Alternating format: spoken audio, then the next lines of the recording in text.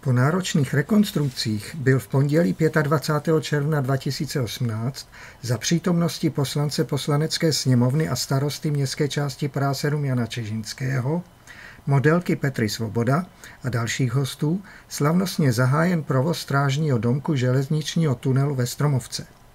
Dům, připomínající alpské horské stavby, stojí nad železničním tunelem na trati mezi Bubny a Dejvicemi.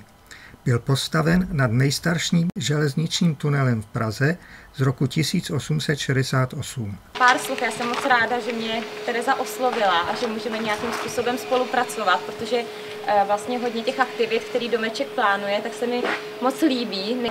Budu vám teda držet palce. Myslím si, že je to fajn že určitě i seniori si to zaslouží. Můžeme na to jít? Jo, tak dáme takhle, pardon.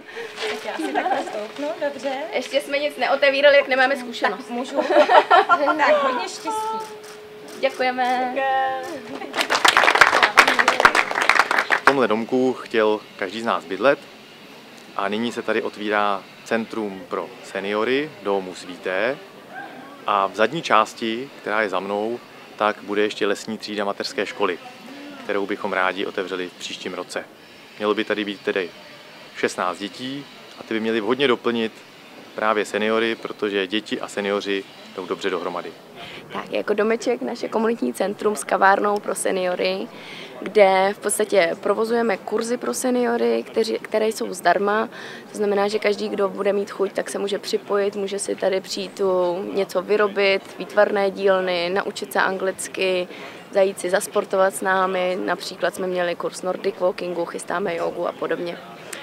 Dále u nás jsou zaměstnaní seniori, to znamená, že v kavárně, když k nám přijdete, tak vás budou obsluhovat lidé, kteří jsou 55+, plus, samozřejmě ne úplně seniori, ale i tak, záleží samozřejmě, kdo jak má chuť prostě pracovat.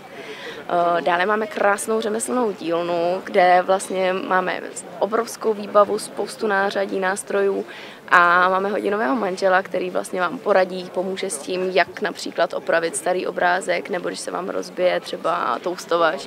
Tak já jsem moc ráda, že můžu spolupracovat s komunitním centrem Domeček.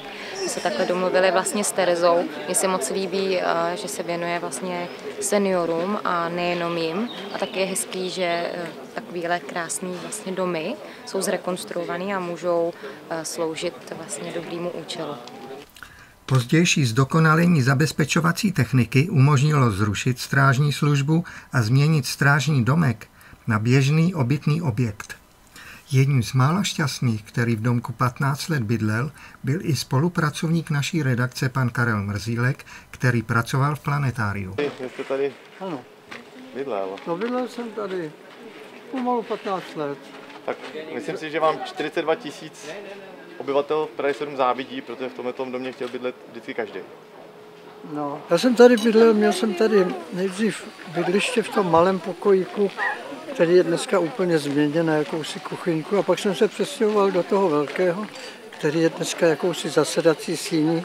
Je to nádherné tady, skutečně překrásné. A dneska, když jsem sem přišel po těch mnoha a mnoha letech, tak jsem šťastný, že ta krásná stavba začala mít zase určitý účel pro lidi. Je to vlastně o celé komunitě, je to o tom, aby se tady scházeli eh, jak lidé, řekněme, už pokročilejšího věku, ale i ostatní obyvatele přilehlého okolí. A doufáme, že v podstatě si na to lidi zvyknou a bude to prostě domeček pro všechny a nejenom pro nás. Záštitu nad tím projektem má magistrát hlavního města Prahy. Eh, my jsme potom žádání o eh, dotace na provoz takže příští rok se bude podílet i městská část práce. Velmi se mi líbí v první řadě to, jak ta kvalitní stavba, jenom když se maličko zlepšila, tak je pořád nádherná.